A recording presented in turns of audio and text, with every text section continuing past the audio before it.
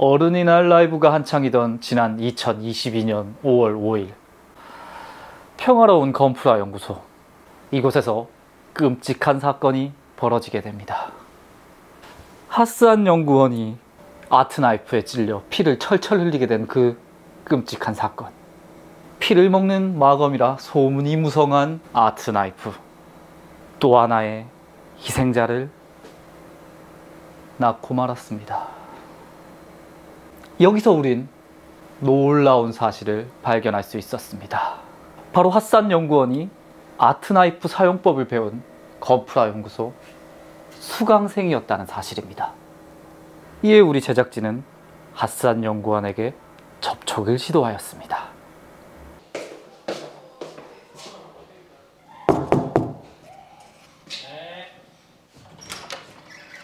아, 네. art knife 쓰시다가 다치셨다는 얘기 들었는데 사실이세요?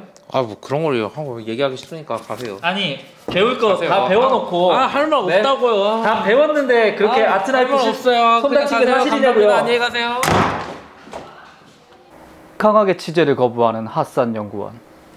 하지만 우리 제작진은 끈질긴 설득 끝에 핫산 연구원의 이야기를 들을 수 있었습니다.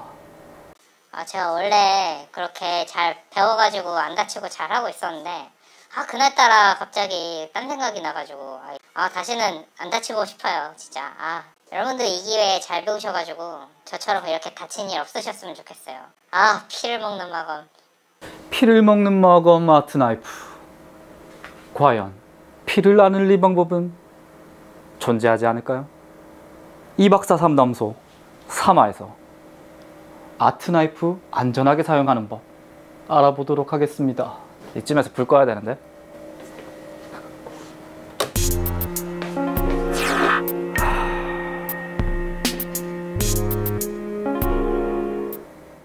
art knife를 안전하게 사용하는 방법을 한번 알아보도록 하겠습니다.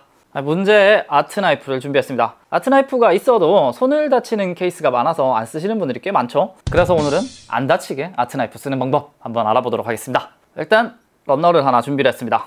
1차용 니퍼로 크게 크게 잘라보도록 하죠.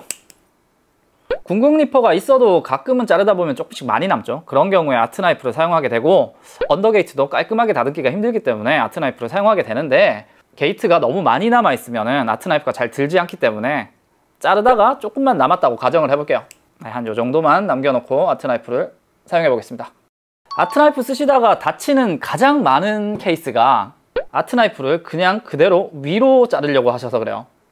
아트 나이프는 위로 이렇게 자르는 게 아니라 비비면서 잘라주셔야 됩니다. 날을 사용하면서 비비면서 잘라주셔야 돼요. 자, 그냥 위로만 자르면 힘이 많이 들어가서 얘가 이렇게 튕겨나가요.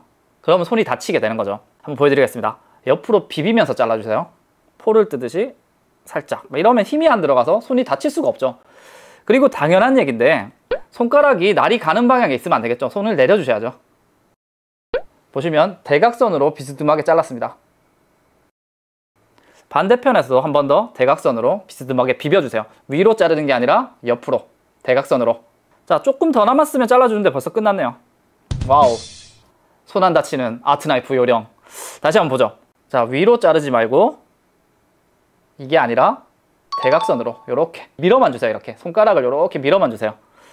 그리고 한 번에 자르지 말고 여러 번 이쪽 대각선 위로 살짝 두 번째는 반대편 대각선 위로 살짝 손가락은 날이 가지 않는 곳에 아래쪽으로 내려주시고 대각선으로 비벼서 자른다. 한 번에 자르지 말고 여러 번 깎아가면서 자르는 게 요령이겠네요. 평상시에는 궁극 같은 거 쓰시면은 한 번에 끝내주시고 궁극으로 잘랐는데도 조금 많이 남았을 때만 아트 나이프 사용하시면 좋을 것 같아요. 자, 비비면서 위로가 아니라 대각선으로 깎아주세요. 손가락은 위로 안 가고 아래로 숨기고 반대편에서 한 번 더. 궁극으로 자른 거랑 뭐 똑같죠? 자, 여기서 중요한 포인트는 아트 나이프를 사용하시든 궁극을 사용하시든 완벽하게 없어지진 않아요. 아트 나이프로 나는 이걸 완벽하게 없애야지 하다 보면 계속 파고 들어가서 부품을 파먹게 되죠. 결국은 해줄 수 있는 건 엔딩은 사포밖에 없습니다. 아트 나이프는 거의 다 없애는 중간 과정으로 생각해 주시면 좋을 것 같아요. 자, 피를 먹는 마검 아트 나이프지만 이런 식으로 사용해 주시면 손을 다치지 않을 수 있습니다. 저는 정말 핫산 연구원처럼 방심하지 않는 이상 손가락을 다쳐본 적이 없는 것 같아요. 자, 아트 나이프 이제 겁내지 마시고 대각선으로 비벼서 깎아서 해주시면 안전하게 사용하실 수 있습니다. 피 못 먹는 마검이야 이제. 즐겁게 보셨다면 구독과 추천은 뉴타입으로 가는 지름길입니다. 우리 또 언제 본담? 건프로 연구소에서는 여러분의 사연을 모집하고 있습니다. 언제든 하단의 메일 주소로 제보해 주세요.